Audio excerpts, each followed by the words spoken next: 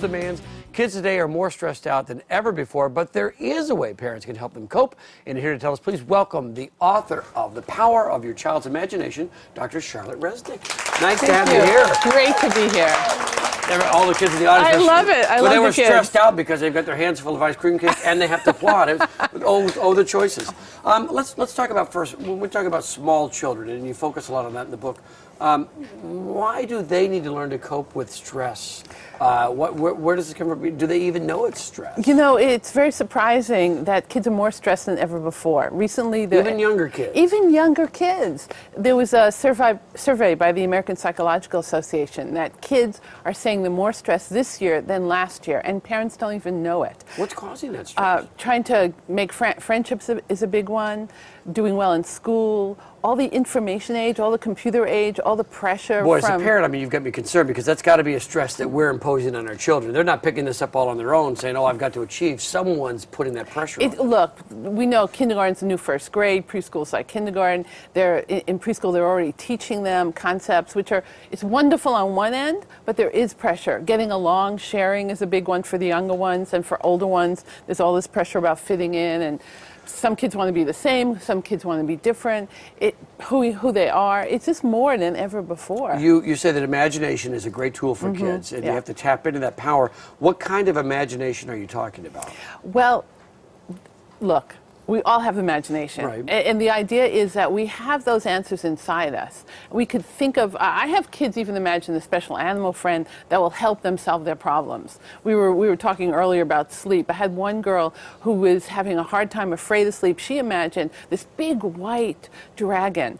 Valcor wrapped around her bed to help her feel safe at night because she wasn't feeling safe, even though perfectly safe area, So perfectly safe. So you don't talk about about their imagination is an insight into their stress, but rather if they have particular types of stress, there's Yes. different imagination games they can play. Yes, These are the nine tools that you talk about in Yes, the book, right? exactly, Uh, exactly. Let's talk about some of those. The, the first one is balloon breath. What is, what, what is that? It's an easy visual, and all the kids here can do it Right. in between eating all Yeah. their wonderful ice Don't- cream. Don't, don't have a mouthful of ice cream when you try this. But what, the idea is that imagine there's a balloon in your belly, like about two to three inches below your belly button, and you put your hands there to practice, Mm-hmm. and you breathe into the count of three slowly, so the balloon gets bigger, and then breathe out slowly.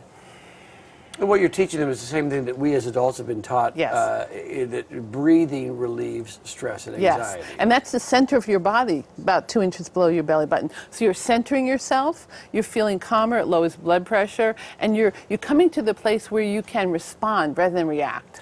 So that's not so much imagination as it is technique, That's, right? that's the first step to Yeah. go into your imagination because once you calm yourself, especially with your eyes closed, then you can imagine a special place where you feel safe, and then you could take a, that's like a respite from everyday stress. First of all, just going to a special place. Mm-hmm. But also in this special place, that's where you call in your helpers. And instead of just checking in with yourself, you ask an animal friend, you ask a wizard, you, you check in with your heart lady. Let's talk about the wizard for a second. uh, uh, it's, it's a difficult conversation. Prepare to tell the child to get in touch with their inner wizard.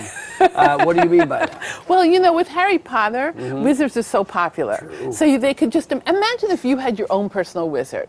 Like one boy was having trouble with spelling. He was getting like, oh my God, 27 words wrong in a paragraph, you know, in those paragraph Mm-hmm. dictations. So he had a spelling wizard come in.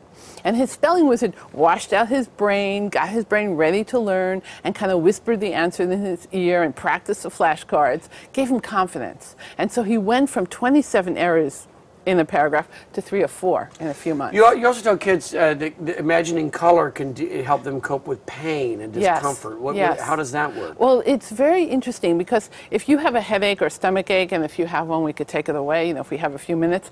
But you, you might even ask. One girl has terrible stomach ache, and we asked, okay, what color? Go inside, ask your belly, ask your tummy, what color it needs to feel better.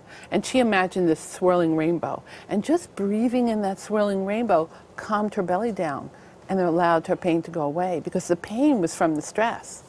Uh, let's talk about some, some typical anxieties that, that children have to deal with all the time. Uh, we talked about not being able to sleep, but you know, bedwetting. A lot of, for a lot of kids, that's, Oh, I know, a lot of I know. It is. So I have, we, I have one. I'm thinking of one little boy who was like nine or ten, which is really old for it. And what he did was he imagined what his um, bladder and urethra looked like, and you might have to draw it for them. And then what he did was he checked in to see were there any holes in the bladder, was it weak, and he used color to to strengthen it. And then he put an alarm clock. And he put Duracell batteries because one time when he didn't, the batteries didn't wake him up. The idea is when the bladder gets half full, the alarm clock wakes you up and you go to the bathroom, come This back was to an bed. imaginary clock. Yes, it's an imaginary clock. A regular one would be very cumbersome. And so, Yeah, I was trying to figure out how that works. Uh, it, it, it's fascinating because children have powerful imaginations and, and use Mm-hmm. that to help them. Well, folks, so you've got a book signing tomorrow night at uh, New Renaissance Books, 7 o'clock on Northwest 23rd. That's tomorrow night, and we've got more information on our website at kat.com. Thank you so Thank